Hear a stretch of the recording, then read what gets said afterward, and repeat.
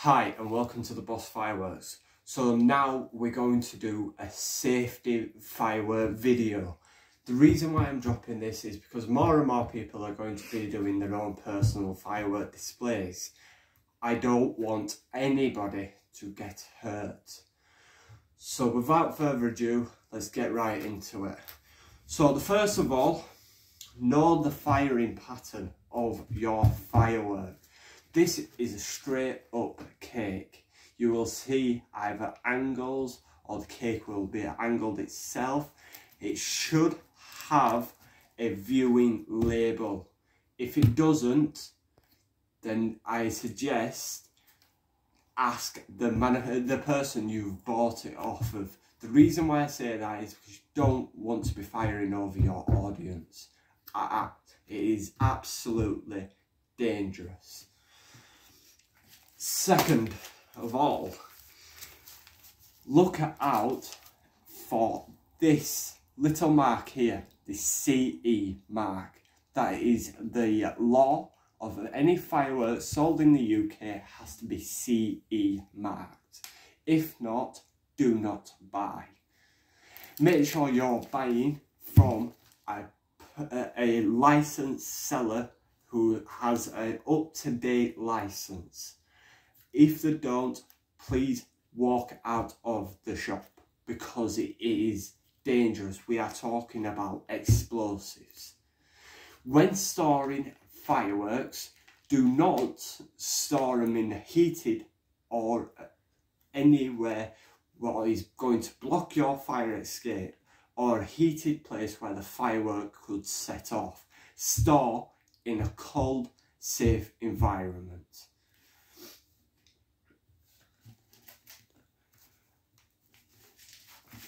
So how I would be setting this firework off, right, there's two fuses.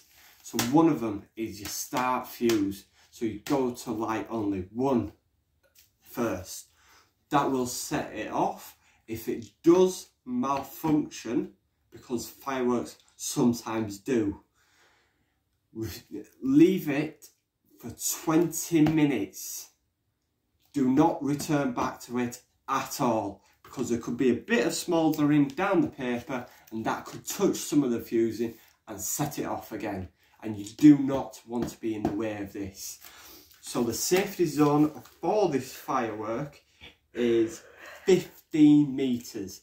Make sure you have read all of your fireworks safety meters. So when I'm going to set it off, I would place this on a solid ground on the grass and these are what I call wooden stakes. So I would bash that into the ground, one at either side, making sure there's no obstructions of the firing. Gaffer tape it to it. I would then have a port fire to light, if you're lighting by hand, always have a port fire, never go at a firework with a lighter. If you're buying a selection box, it does have a lighting stick in it. I gaffer tape it to it. Make sure that that does not wobble because you do not want wobble in fireworks the reason some fireworks say bury it. The reason why i do not bury fireworks is because if it blows up or it malfunctions it's not sat in a hole. It's out. It's not contained. Gaffer tape keeps it contained. And that therefore will keep you and your audience safe. So let's get on to rockets. Now rockets are what we call uncontrollable flights. They can be safe. This is a dummy rocket. So when you've got a rocket, you will have a cap. You pull that cap down and make sure that the fuse is pulled down as far as it, as it would stretch. When it comes to uh, putting your tube into the ground, stab it into your ground lean it back ever so slightly because you've got to remember this stick, this wooden stick here, does not bang at all. So lower it,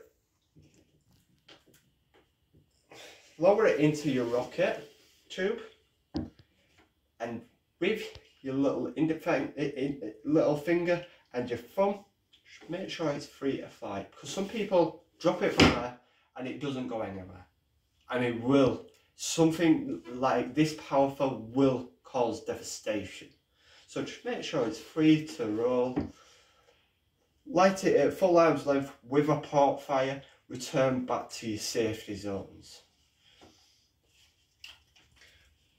I would try and stay away from as many rockets as you possibly can. Go with cakes, better value for money. The reason why some people like rockets because of the swoosh, the bang. I understand because obviously I like rockets and right when it comes to doing fountains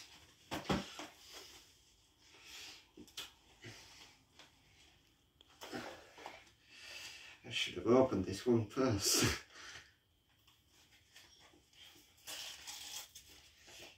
Each firework has a green fuse. It doesn't matter what firework you've got. In the UK, we use green fusing. If it's a pink one, that is a reserve fuse. Sometimes it is hard to see. Sometimes they are green. It depends on the manufacturer. Right, within your selection boxes, as you see, straight away I've opened that and I've got the firework code leaflet by Standard Fireworks, which is by uh, Black Cat. Please take the time to read it if you have any.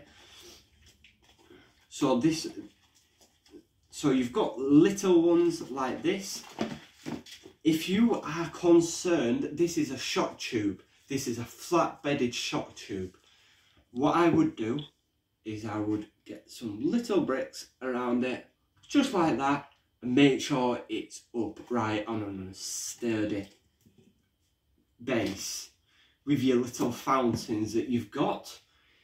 There is a top side to every fountain. Now, as you see, I've just opened that now there's a fuse what is bent down. Pull the fuse out.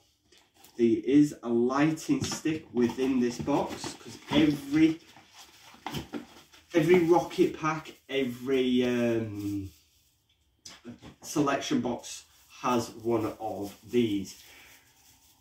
They may not be the best that you'll ever see, but this little piece of wood will save your life do not use lighters or matches. You will touch the green fuse with the ember what is on the, the end of this, retire back to your safety zones, let the fountain fully finish before returning back to it.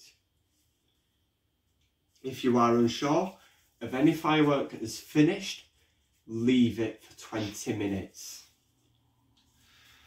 I've been the boss fireworks, my beautiful partner on the uh, camera. I absolutely love her to pieces. I and if any firework goes wrong, as I say to my partner, do not run away from the firework. The safest thing you can do is get as small as you can down on the floor. The reason why is because you could run away from that firework and you could get to the point of explosion and that will hurt. Please, please, please follow these safety uh, guidance. It is against the law in the UK to hold any fireworks. And with sparklers, I advise strongly against them. Really strongly against them. The reason why is because it burns at 2000 degrees. That is not instant uh, first degree or second degree or third degree straight instant skin off because there's nothing is hot. So I've been the boss fireworks, my beautiful partner on the camera. I hope you're all staying safe. Please stay safe this bonfire night. Thank you.